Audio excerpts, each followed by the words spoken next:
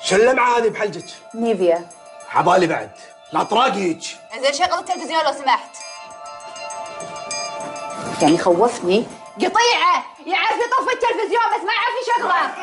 كين انت